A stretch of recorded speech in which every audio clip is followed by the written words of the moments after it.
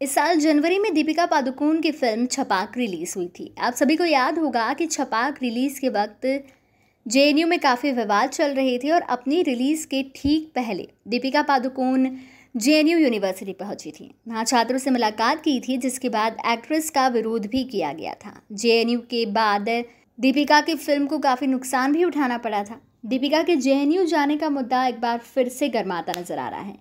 Social media पर इस वक्त दीपिका ट्रेंड कर रही हैं। उन पर आरोप लगाया जा रहा है कि जेएनयू जाने के लिए उन्होंने पाँच करोड़ रुपए लिए थे। एक पूर्व रॉ एजेंट एन के सूद ने दीपिका पर आरोप लगाया है कि वो पाकिस्तानी ब्रिटिश बिजनेसमैन अनिल मुसरत के कहने पर जेएनयू प्रोटेस्ट में गई थी, जिसके लिए उन्हें पाँच करोड़ रुपए दिए गए थे। सोशल मीडिया पर इस वक्त दीपिका को काफ़ी ट्रोल किया जा रहा है और ये कहा जा रहा है कि जेएनयू जाने के लिए उन्होंने पैसे लिए थे। हालाँकि अब तक इस बारे में दीपिका का कोई भी बयान सामने नहीं आया है। जिस बात पर दीपिका जे गई थी, तब उन्होंने कहा था कि मुझे गर्व होता है कि हम अपनी बात कहने से डरे नहीं। चाहे हमारी सोच कुछ भी हो, लेकिन मेरे ख्याल से हम देश और इसके भविष्य के बारे में सोच रहे हैं।